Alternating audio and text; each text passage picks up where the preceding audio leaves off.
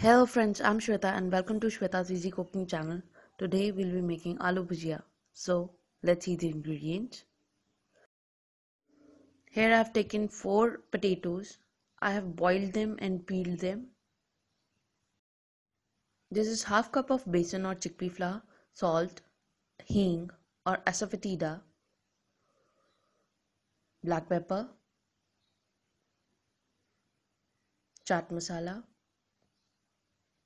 and turmeric powder or haldi.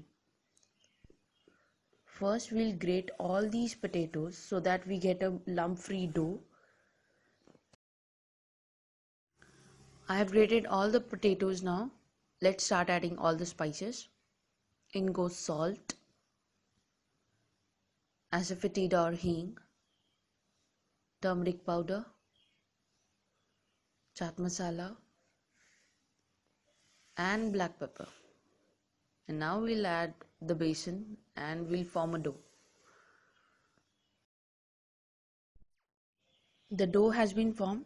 The consistency of the dough should be that of a puri dough. The amount of besan which we use depends on the type of potato we are using. To this mixture i had to add one more cup of besan as the potatoes which i have used were a little more soft and moist See this is the mold with which we'll be making our bhujia and I'll be using this sieve with the finest hole to make our bhujia. Let's load the mold. I have greased my mold already. To load the mold, we'll take some of the dough and make a cylindrical shape out of it. See just like this and then we'll fill it up.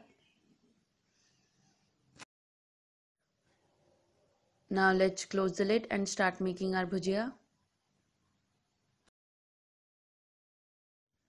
To a wok I have added oil and switched on the flame at medium. The oil is mediumly hot. Now we'll start making our sev. We will keep rotating our mold throughout the kadai so that these sev don't stick to each other. See just like this.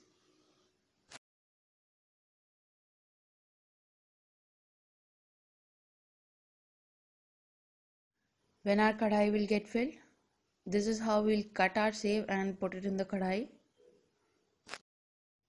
These are really thin sevs so they'll be fried in no time and we have to keep our flame at medium during the whole procedure. They are done from one side. Now we'll flip them over. We'll fry them for 1 to 2 minutes more. They are done now. Let's take them out on a plate We'll continue making our sev till the dough is over. These sev turn out to be really tasty and really crunchy. They are better than the market brought as they don't have any preservative in it. Enjoy these aloo bhujia with your evening tea, coffee or just fruity.